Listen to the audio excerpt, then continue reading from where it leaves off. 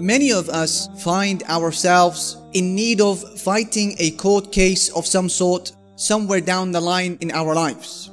Whether it's because of an individual who has harmed you at work or any other place, or a group of individuals who have harmed you in your reputation, or anything else. Many people find themselves obliged to go down the legal route in order to hold somebody accountable for their, for their oppression. However, there are certain cases that we would probably not look to take out a lawyer. Small cases, like for example, a speeding ticket. The vast majority of people will not challenge this in court. The case is not that large. However, the bigger the case becomes and the more threatening it is to your life and your family, your reputation, your wealth, etc., the more compelled you feel to hire a lawyer to speak on your behalf. Imagine with me, dear brothers and sisters, now a scenario where you find yourself walking into a courtroom to represent yourself. Your opponents, they are legally represented. They have many professionals whom they have hired. You, at the same token, you don't have any representatives. You don't understand the legal terminology. You don't have anybody to witness for you. And the case is very big. Your entire future is on the line.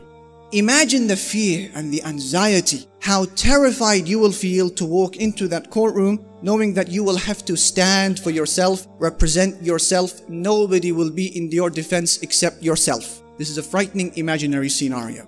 With that said, brothers and sisters, I fast forward to a day called Yawmul Qiyamah, the Day of Judgment, where many people will find themselves in that exact scenario that we have just described where man will find himself being escorted now to the court of the King Al-Jabbar, the Compeller, Al-Aziz, the Most Mighty Allah, to stand before him to be asked about every small and big detail in your life. On a day when the tongues of people will be far too twisted to talk, and hearts would have reached throats in their exit because of fear. Imagine the difficulty of a day when you will have to defend yourself in the court of Allah and nobody is there to do the speaking on your behalf. Today, brothers and sisters, I want to speak to you about the topic of shafa'a, intercession. When somebody or something intercedes for somebody else, something vouches for somebody else, something advocates for something or somebody else. I ask a question, what are the various things that we can do today in order to prepare lawyers, to prepare advocates, to prepare shufa'a, intercessors, who can speak on our behalf on the day of judgment? There are certain things that we can start doing today so that you will have to do minimal talking on the day of Yawm al-Qiyamah when people will be too afraid to speak. And we will mention just a few of them today. Memorize them, dear brothers and sisters, and do your best to advocate them and to apply them. The first, a person who dies in the city of Medina.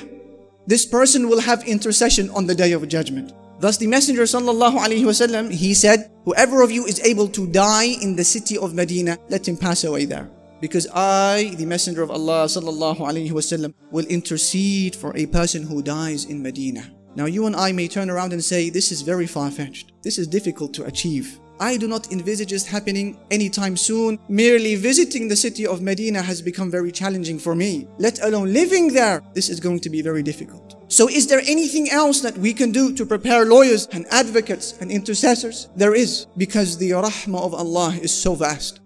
The second advocate of a person on the day of judgment, the second lawyer, is the book of Allah, the Quran. And that is accessible to every single one of us. The Quran will be given a voice on the day of judgment. It will be speaking with a sound that everybody can hear. And some people will enter paradise. And some people will enter hell because of the book of Allah, the Quran.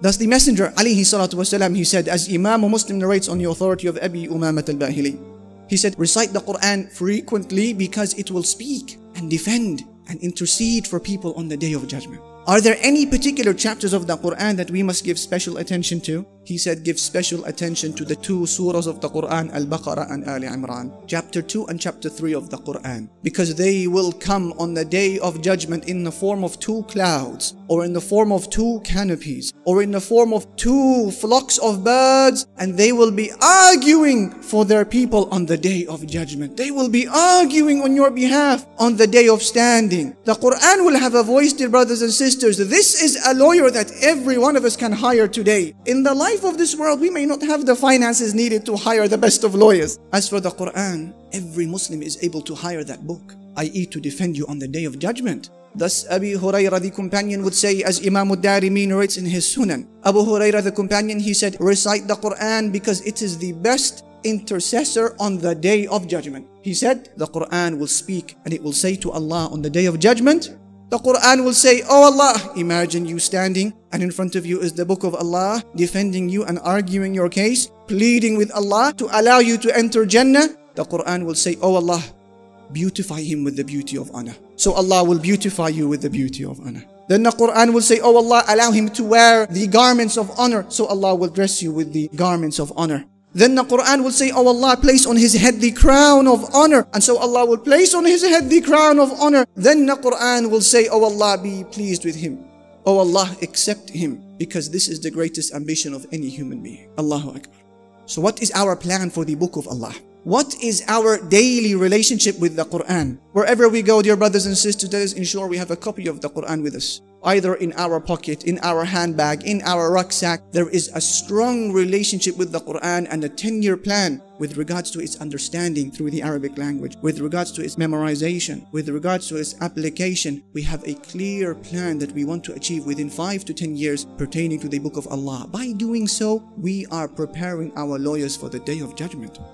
As for advocate number three, lawyer number three, this is pertaining to a fasting this will also speak for a person Yawm al-Qiyamah. So I say congratulations to those brothers, to those sisters who fast the month of Ramadan. And then they maintain a certain level of extra fasts all throughout the year. Mondays and Thursdays, or the three Ayyamul Bid, the three lunar days, or Ashura and Arafah, and the likes of these days. Such a person is preparing his advocate, his lawyer, his representative on the day of judgment. Thus Ahmad he narrates in his Musnad on the authority of the companion Abdullah ibn Amr ibn al-As that the Messenger sallallahu alayhi wasallam said that fasting and the recitation of the Quran will both be given a voice. They will speak for a person on the day of judgment. As for fasting, fasting will say, Oh Allah, I prevented him from eating and drinking throughout the day, so allow me to speak on his behalf. And the Quran will say, Oh Allah, I prevented him from sleeping during the night, so allow me to intercede to speak on his behalf. The Prophet ﷺ said concludingly, they will both be given intercession. As for the fourth type of shafa, fourth intercession, this is every single extra unit of salah you take care of today. Your nawafil. After you have perfected the five daily prayers, the extra prostrations, the extra units of salah will speak on your behalf on the day of judgment. So congratulations to those who have a strong relationship with every type of sunnah prayer. Imam Muslim narrates that the Messenger sallallahu he used to say to those who were serving him, "Do you need anything?" Look, he was saying to the ones serving him, "Do you need anything? Can I serve you in any way?" And on one particular day, one of those who were serving him said to the Prophet alayhi salatu Ya Rasulallahi hajati, O Messenger of Allah, yes, please give me my request. He said, What is your request? He said, My request and my need is for you to intercede for me on the day of judgment. The Messenger وسلم, was impressed with this request. He said to him, Who guided you to that request? Who taught you that request? He said, O Rabbi, my Lord. He said, Therefore, help me fulfill this request of yours by making sure you prostrate to Allah Almighty a lot. Make sure that you have a strong relationship with Salah, the obligations that you perfect, and the Sunan that you now study. What are all of the Sunan, the extra prayers that you can pray? Study them, dear brother, dear sister.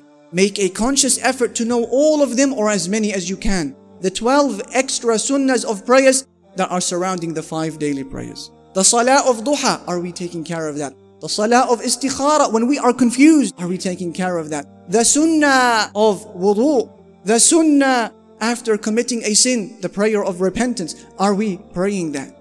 Let us create a relationship with every extra type of salah and not fall lazy in that regard and realize that by doing so you are preparing your lawyers and your advocates who will speak on your behalf and give you an easy time on the day of judgment. Somebody may say, I am lazy and I know I will forget. So I need something else. I will try to do this, but guide me to something else. In addition to this, you have advocate number five. It cannot get any easier than this. A dua a single dua that you say, dear brother, dear sister, after hearing the adhan. And this will qualify you by the permission of Allah for the intercession of the beloved alayhi salatu wasalam. Thus Imam al-Bukhari narrates on the authority of Jabir that the Messenger sallallahu alayhi wasallam said, Whoever hears the adhan, the call to prayer, And then when it finishes, he says the following words O Allah, you are the Lord of this perfect call, and you are the Lord of this established prayer. We ask you, O Allah, to give Prophet Muhammad sallallahu alaihi wasallam al-wasila. Al-wasila is a station in paradise that will only be for one human being, and we hope that will be for the Prophet Muhammad sallallahu alaihi wasallam. So you say after hearing the adhan, O Allah, Lord of this perfect call, and you are the Lord of the established prayer. Give Muhammad sallallahu alayhi wasallam al-wasila and give him al-fadila, virtue, and give him a station of praise that you have promised him. He said, whoever says this after hearing the adhan, my intercession for him on the day of judgment will become an obligation upon me. Allahu Akbar. Somebody may say, Brother Ali, even this is difficult. I live far away from the masjid and I don't hear the adhan as much as I would like to hear it. I don't have this opportunity very frequently. Is there anything else I can do to hope to guarantee lawyer, an advocate, a shafi', intercessor for me on the day of judgment? And the answer is yes, and we will conclude with number six. Advocate number six, lawyer number six. It is the taking of the good people as friends. It is to take the righteous people, the people of goodness, as friends. Yawm al-Qiyamah, dear brothers and sisters in Islam, the believers, after Allah has saved them from the fire and Allah allows them to enter Jannah, they will realize that some of their friends are missing. Some of their friends whom they studied with, maybe they prayed with, they fasted with, they engaged in Hajj with, they did da'wah with, and in Jannah they are missing. And this is a narration that Imam al-Bukhari and Muslim narrate and Ahmad in his Musnad on the authority of Abi Sa'id al-Khudri. So they will complain to Allah, the believers. Oh Allah, there are certain servants of yours, brothers of ours who used to fast with us. They used to pray with us. They used to give zakah with us. They did hajj with us. Oh Allah, we don't see them here in Jannah. They know that they had been taken to the hellfire. They didn't make it.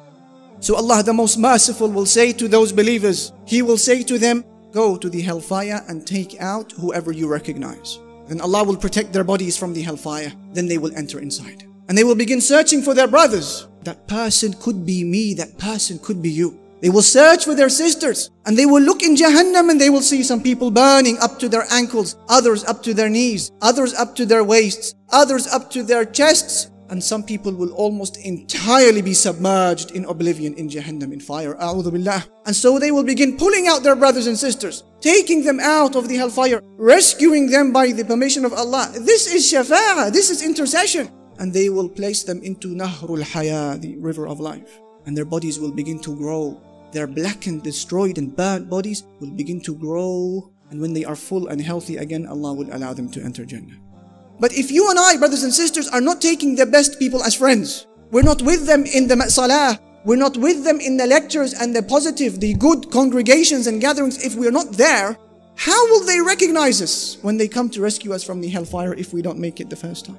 How will they recognize us? Thus Imam al-Baghawi, he narrates in his tafsir that Al-Hasan al-Basri, he said, Take as many good friends as you can because they will be given intercession on the day of judgment.